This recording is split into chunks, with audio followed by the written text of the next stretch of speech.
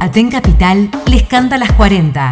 Cuatro décadas de lucha, cuatro décadas en defensa de la educación pública. Aten Capital les canta las 40. Repaso semanal de la actualidad de nuestro sindicato. Hola Fede, ¿cómo estás? Estamos cerrando un año complicado, eh, con muchos problemas en las escuelas, pero estamos preparando la perspectiva para el año que viene. Sí, hola, buen día a la audiencia. Sí, nos estamos preparando con todo para el año que viene porque obviamente se vienen grandes luchas, sobre todo lo que tiene que ver con este acuerdo que hicimos con el gobierno, lo de lo salarial, ya en, en enero del año que viene vencería, digamos, lo del IPC. Trimestral. Trimestral y bueno, obviamente eh, no alcanza con ese IPC trimestral y obviamente que los reclamos por las asambleas que hemos realizado, eh, la base pide que sea mensual y obviamente un aumento mayor porque la inflación seguramente va a llegar a los tres dígitos y eso ya se siente en los salarios de las compañeras y compañeros. Y ni hablar los compañeros, digamos que también eh, les descuentan por el impuesto al salario, que nosotros decimos el salario no es ganancia.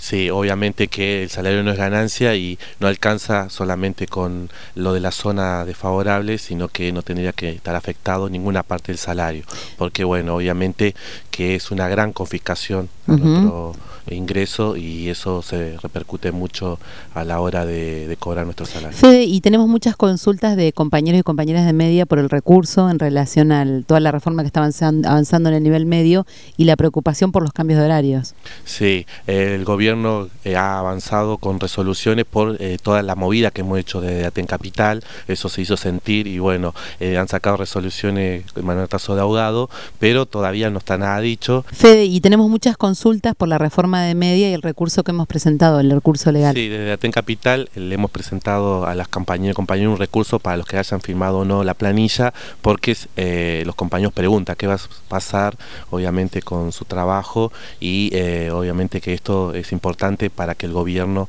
no avance Sí, porque además, digamos, cuando te cambian el horario, te cambia la condición laboral. Entonces, ese recurso son tres copias, pueden venir a retirarlo a TEN Capital, una la dejan en la escuela, la presentan, ¿sí? En defensa de su horario su trabajo, otras se la guardan ellos y otras eh, nos las acercan a nosotros. Sí, eso mismo. Bien, y estamos preparándonos para un plenario de delegados. Esta semana hay jornadas en, en los niveles y, cuál es el debate que proponemos para las jornadas. Bien, la idea del debate que proponemos es lo que tiene que ver sobre, sobre todo en media, sobre la reforma que bueno que quiere llevar adelante el gobierno y bueno cómo lo enfrentamos y bueno obviamente eh, es muy importante la participación de cada una de las Bien, llamamos entonces, eh, nos vemos en el próximo micro, pero llamamos que en estas jornadas los delegados y las delegadas impulsen el debate eh, político, ¿no? gremial, las jornadas también son espacios de debates y ganadas con la lucha. Nos vemos en el próximo micro, Nos vemos.